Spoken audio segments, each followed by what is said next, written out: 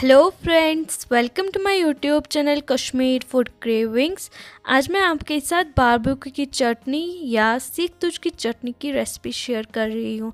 ये बहुत ही टेस्टी बनता है। आप इस रेसिपी को ज़रूर ट्राई कीजिएगा। इसके लिए हमें चाहिए वन क्यूकेम्बर यानी खीरा one carrot one radish one onion two two three green chillies coriander leaves mint leaves दही यानी curd two teaspoon red chilli powder salt according taste one pinch ज़ीरा चलो फ्रेंड्स रेसिपी स्टार्ट करते हैं। सबसे पहले हम गाजर को ग्रेट करेंगे, यानी कद्दूकस करेंगे। गाजर को अच्छे से ग्रेट कर लिया है। इसको साइड में रख देंगे और इसका एक्सेस पानी निचोड़ देंगे। अब हम मूली को भी ऐसे ही ग्रेट करेंगे सेम वे में। और इसका भी एक्सेस पानी निचोड़ देंगे। अब हम खीरे को कद्दूकस करेंगे। इसको भी मैंने अच्छे से कद्दूकस कर लिया, इसको साइड में रख देंगे और इसका एक्सेस पानी निचोड़ देंगे। अब हम एक प्याज लेंगे, इसको भी कद्दूकस कर लेंगे और जो इसका एक्सेस पानी है, इसको निचोड़ देंगे। आप देख सकते हैं, मैंने सारी सब्जियों को जो एक्सेस पानी है, वो निचोड़ दिया है, बिल्कुल ड्राई हो गए हैं।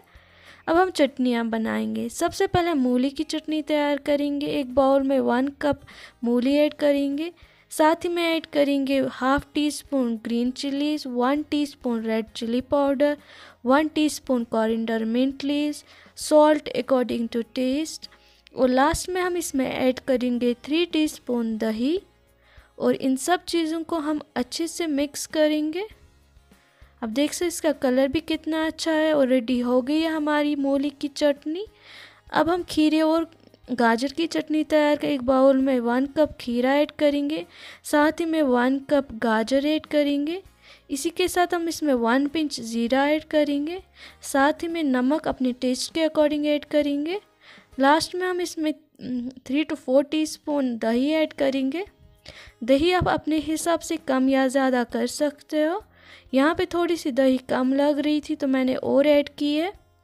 और सब चीज़ों को अच्छे से मिक्स करेंगे। और लीजिए हमारी खीरे और गाजर की चटनी तैयार है।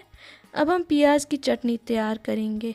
एक बाउल में एक कप ग्रेटेड ऑनियन ऐड करेंगे one teaspoon coriander leaves half teaspoon green chillies साथ ही में नमक ऐड करेंगे और one teaspoon red chilli powder add करेंगे। इन सब चीज़ों को अच्छे से मिक्स करेंगे। आप देख सकते कलर कितना अच्छा आया है और प्याज की भी चटनी तैयार है। और लीजिए, हमारी तीन तरह की चटनी तैयार हो गई है। आप इसको सीख तुझ वगैरह के साथ सर्व कर सकते हैं। खाने में बहुत ही टेस्टी है।